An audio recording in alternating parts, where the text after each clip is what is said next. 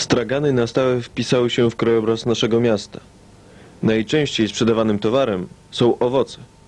Dziś naszą uwagę zwróciły egzotyczne banany.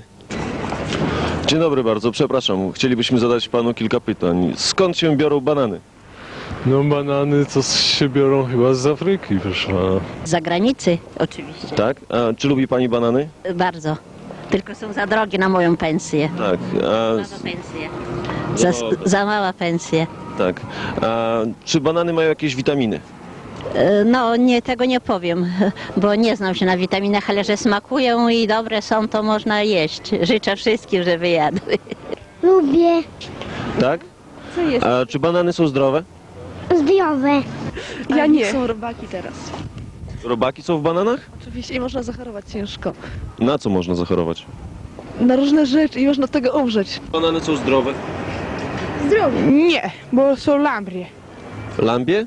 Lambrie. Lambria, co to jest? Takie y, zwierzątka, co w środku takie coś gryzą.